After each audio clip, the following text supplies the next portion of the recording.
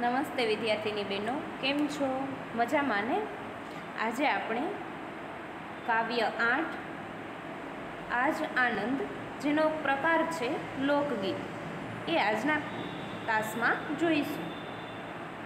હવે, લોકોમાં પ્રચલિત કથા વાર્તા કે કવિતા રૂપે રચાયેલા સાહિત્યને લોક સાહિત્ય કહેવાય. તેનો રચનાર અજ્ઞાત હોય છે, ક્યારેક એકથી વધુ વ્યક્તિઓ પણ તે રચવામાં સહભાગી હોય છે. મતલબ કે લોકગીત હોય એને હંમેશા એકથી વધુ દ્વારા જ એને રચી શકાય છે. લોકગીત એ પ્રકારની રચના છે. તેમાં ગ્રામ માનવ જીવનની સંવેદનાઓ ઝીલાયેલી હોય છે. હવે આ કાવ્યમાં એક, જે મેઇન મુદ્દો છે એ વર્ષા ઋતુનું આનંદદાયક શબ્દચિત્ર છે એ આપણી સમક્ષ રજૂ કરવામાં આવેલું છે. આ લોકગીતમાં રચનાકારે સરળ શૈલીમાં વર્ષા ઋતુનું આનંદદાયક શબ્દચિત્ર છે. એ આપણી સમક્ષ દોર્યું છે. કૃષિ કાર્યમાં વ્યવસાય સાથે ઉત્સવનો આનંદ સ્વાભાવિક રીતે જોડાઈ જતો હોય છે. તેનું આ કાવ્યમાં આ બેહૂબ વર્ણન કરવામાં આવ્યું છે. ધબકતા ગ્રામજીવનનો પરિચય આપતું આ એક મધુર લોકગીત છે. લોકગીતનો રચનાર હંમેશા પડદા પાછળ રહેતો હોય છે.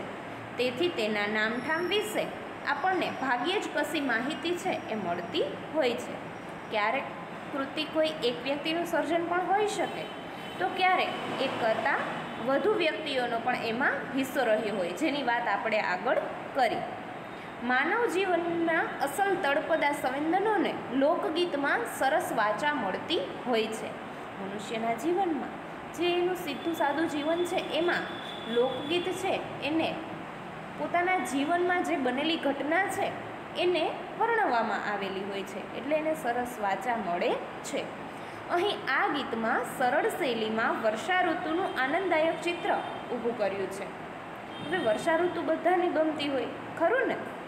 તદુપરાંત કૃષિ સંસ્કૃતિમાં વ્યવસાય સાથે ઉત્સવનો આનંદ, ઉલ્લાસ કેવી સહજ રીતે જોડાઈ જાય છે? એ બાબતનું હુબહુ ચિત્રણ રજૂ કરવામાં આવ્યું છે. હવે, વિદ્યાર્થીની બહેનો, આપણે એના શબ્દાર્થ જોઈએ.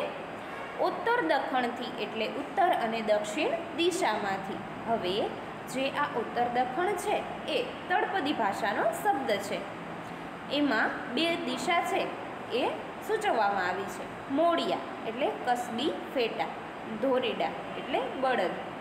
કોટે એટલે ડોકે ઘૂઘરમાળ એટલે ઘૂઘરાની માળા, વાવણીએ એટલે બીજ વાવવાના સાધને અથવા તો ઓરવીએ, શેરું એટલે માળા અથવા હાર, લલાટ એટલે કપાળ, ઝારું એટલે જુવાર, જે એક પ્રકારનું અનાજ છે.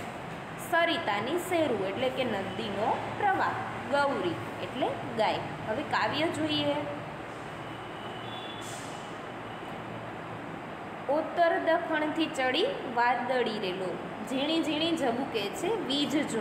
આજ આનંદ મારે આંગણે રેલો. એટલે કે ઉત્તર અને દક્ષિણ દિશા તરફથી વાદળી છે, એ ચડી આવી છે. અને વાદળોમાં ઝીણી ઝીણી વીજ છે, એ ઝબુકવા માંડી છે.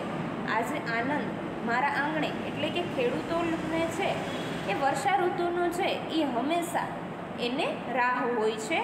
જે વરસાદ પેલો પડે ત્યારથી એ લોકો એના ખેતરમાં વાવણીનું કામ છે એ શરૂ કરતા હોય છે. એટલે કે ખેડૂતોના આંગણે આજે આનંદ છે એવું કહી શકાય. ખેડૂના માથે લીલા મોડિયા રેલો ધોરીડાની કોટે ઘૂઘર માળજો, આજ આનંદ મારે આંગણે રેલું. એટલે કે ખેડૂતના માથે જાણે લીલા મોડિયા હોય, મતલબ કે આપણે જોઈએ તો ખેડૂતને છે એ કસબી ફેટા રૂપી એક પાઘડી બાંધવામાં આવે છે અને ધોરીડાની કોટે, એટલે કે ધોરીડાની ડોકે ઘૂઘરાની માળા છે.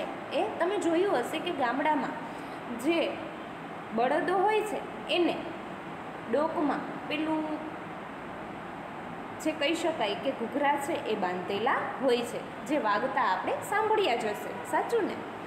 આજ આનંદ મારે આંગણે રહેલો. એટલે કે ખેડૂતોના આંગણે આજે જે વરસાદ પડે છે, એનો આનંદ અલગ જ હોય છે.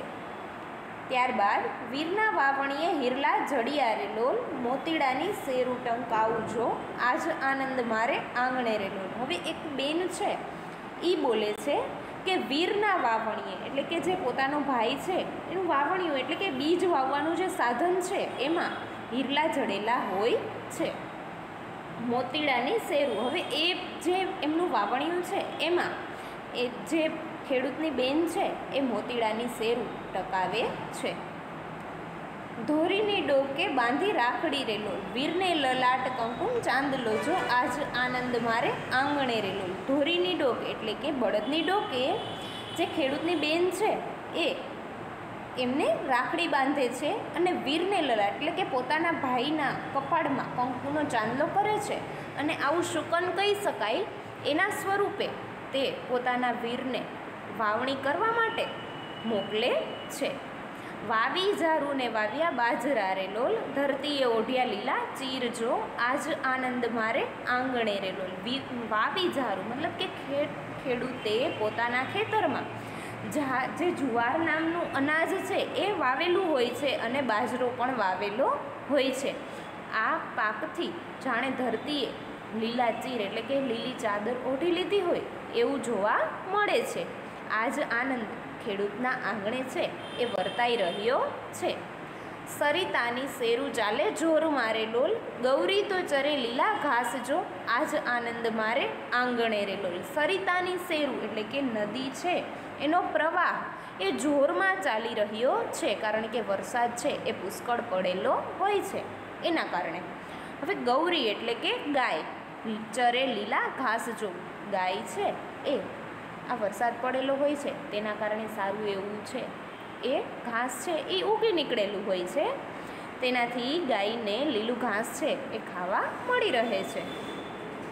આજ આનંદ મારે આંગણે રેલો એટલે ખેડૂતના આંગણે આજે હર્ષોલ્લાસપૂર્વક ખૂબ જ ઉત્સાહ અને આનંદ છે, એ જોવા મળે છે.